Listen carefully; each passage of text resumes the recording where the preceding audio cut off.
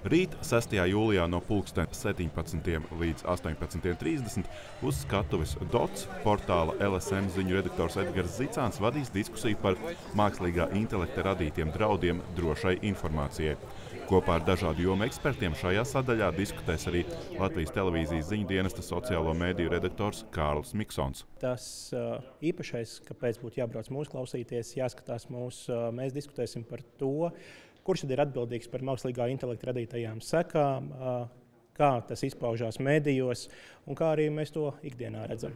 Un uzreiz pēc šīs diskusijas, pulksten 19. uz tās pašas dots skatuves kāps Latvijas televīzijas žurnālists Guntis Bojārs, lai vadītu diskusiju Nolinčosim internetā Twitter tiesas spēks.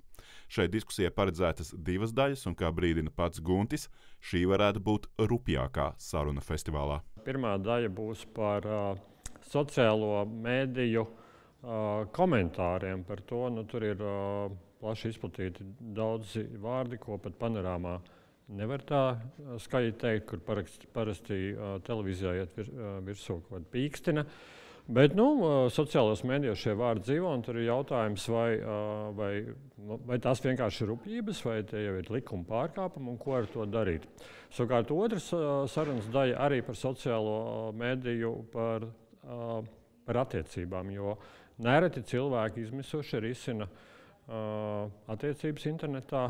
Un arī jautājums, kurā brīdī to vajag darīt, kurā brīdī tie pārējie spiež pogu dalīties un, un vairo šo publicitāti, kurā brīdī iespējams padomāt un to nedarīt. Tāpat šajā diskusijā tiks meklēts atbildes uz jautājumu par vārda brīvības robežām, izsakoties interneta vidē. No vienas puses Latvijas satversmē paredz vārda brīvību, un no otras puses tur ir ikviena cilvēka cieņa un gods. Festivālā kā diskusiju vadītāji un dalībnieki kopumā darbosies 13 Latvijas televīzijas un portāla LSMLV pārstāvji. Diskusiju dalībnieku vidū redzēsim Latvijas televīzijas galveno redaktori Sigitu Roķi un žurnālistu Alekseju Dundu. Improvizētā spēlē iztiesā žurnālistu piedalīsies Latvijas televīzijas ziņu dienesta žurnālists Ivo Leitāns. Diskusijas vadīs žurnālists raidījuma viens pret viens vadītājs Gundars Rēders, Latvijas televīzijas redaktors un žurnālists Uģis Joksts. Latvijas televīzijas ziņu raidījuma vadītāja Ilza Dobele, žurnālists Gins Amoliņš, kinorežisore un kultūras žurnāliste Henrieta Verhostinska, kultūras žurnāliste un raidījuma kultūras šoks un kultūras ziņas veidotāja Zāne Brikmane un žurnāliste Eva Johansone.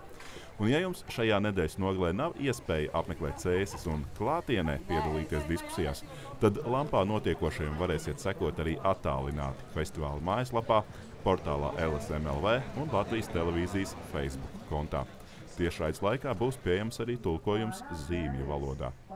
Girts Zvirbulis, Ivo Žepickis, Latvijas televīzija.